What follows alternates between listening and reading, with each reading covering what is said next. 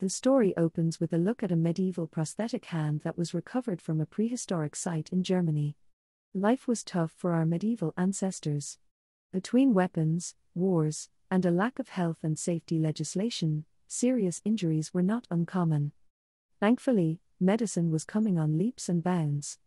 Doctors were also trying to make advancements in the field of prosthetic limbs. A medieval prosthesis was recently unearthed during works to lay new pipes in the Bavarian town of Freising. The hand had been inserted into a sophisticated prosthesis. The State Office for Monument Protection described the find as something special, all the more so when it was noted that the remains of the original owner were still inserted into this prosthesis. More awesome content awaits, subscribe.